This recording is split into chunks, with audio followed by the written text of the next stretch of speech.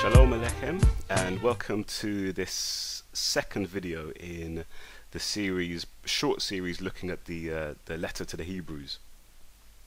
In the first video we saw how the, the claim of the writer of this letter, the claim that the Levitical priesthood had been changed uh, and the priesthood had been changed and the Levitical priesthood had been done away with is blatantly false, according to several statements from the very words of Yah himself, from the very mouth of the Most High himself.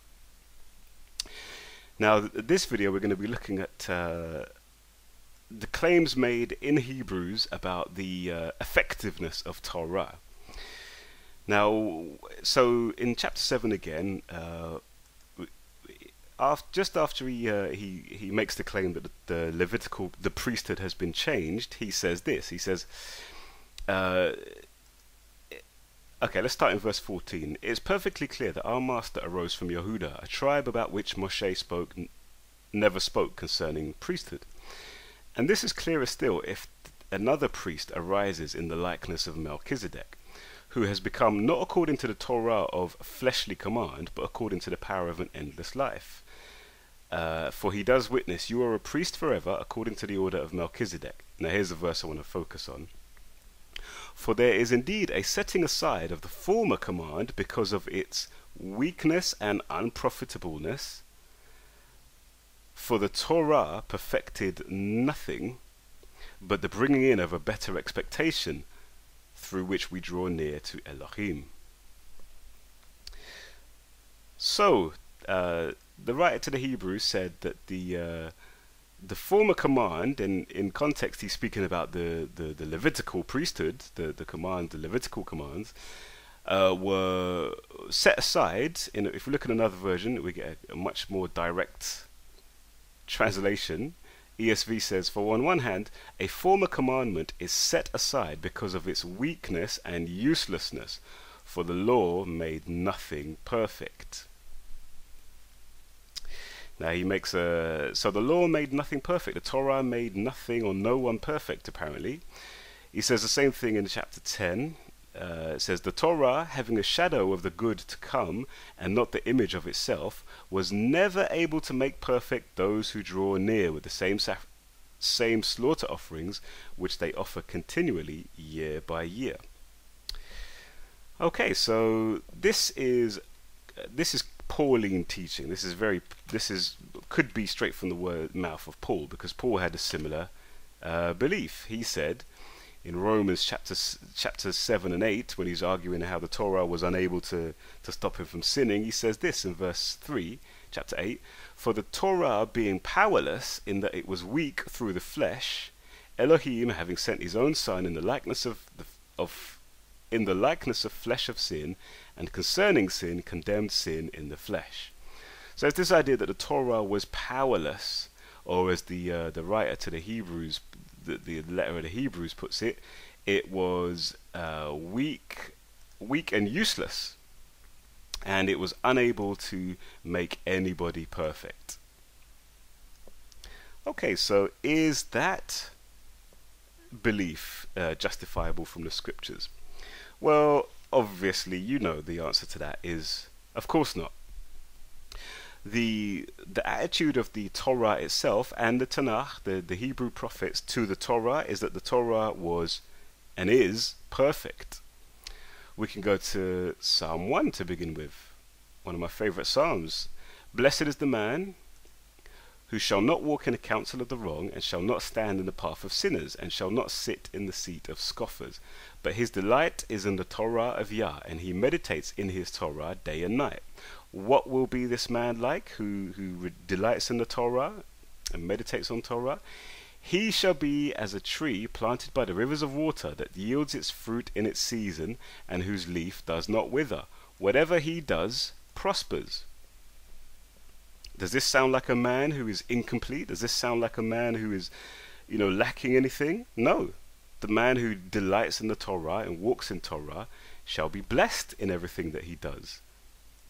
This, just quickly going back to, uh, uh, if we go to Jacob, the, the apostle Jacob, he says, He that looks into the perfect Torah, that of freedom, and continues in it, not becoming a hearer that forgets, but a doer of the work, this one shall be blessed in his doing. It's the same idea that the ones who delight in Torah, the ones who rejoice in Torah, the ones who do Torah, they shall be blessed in everything that they do. Okay, but the but the the writer of the Hebrews says that the Torah was weak and un, and, and useless. But James, Jacob says the Torah is perfect. Who are you going to believe?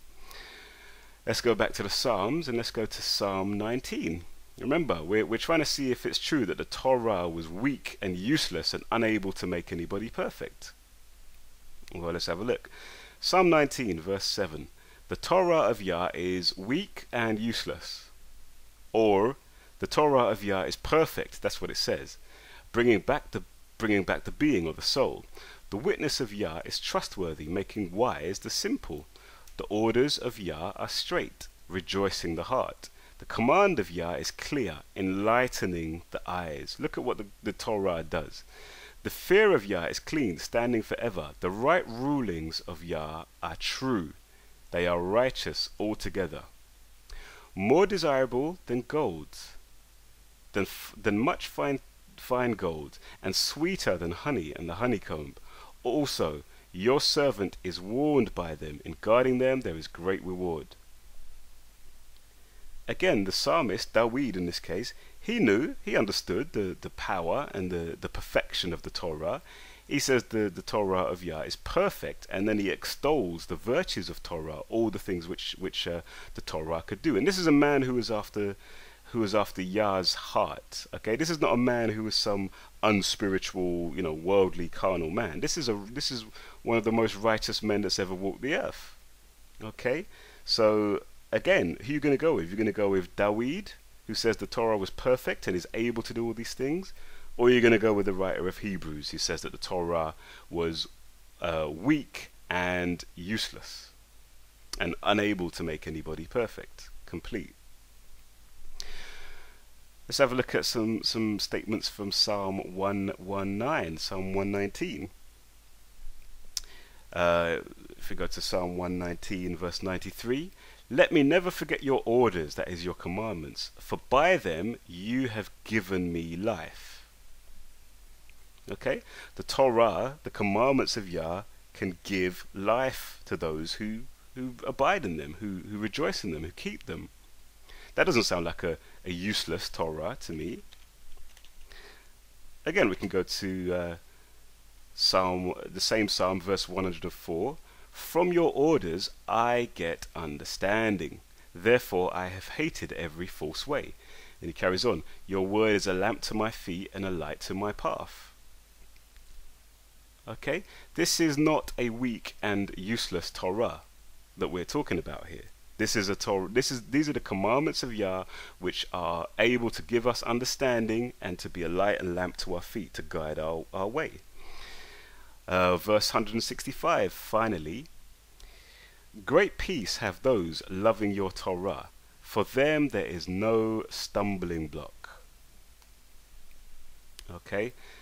And of course, we could go on and on and on and on, you know, from through the Torah itself and through the prophets to show that the Torah is perfect, the Torah is complete, and the Torah is able to bring life to those who, who walk in it and, and to and to guide us and to keep us away from evil, to keep us away from sin, uh, and uh, and so on and so forth. So returning again back to uh, Hebrews.